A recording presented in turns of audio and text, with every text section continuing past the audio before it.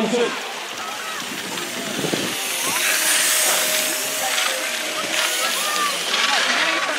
Laatste voetbal van 11 jaar. Dan gaan we ik naar de winnaar van afgelopen zaterdag. En misschien wel topfavoriet voor de Nederlandse titel.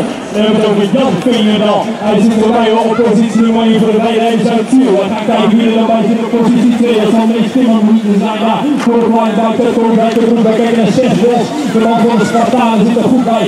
Op positie 3. Afgelopen zaterdag was van een buiten. En dan hopen we natuurlijk dat hij er gewoon in is. En voor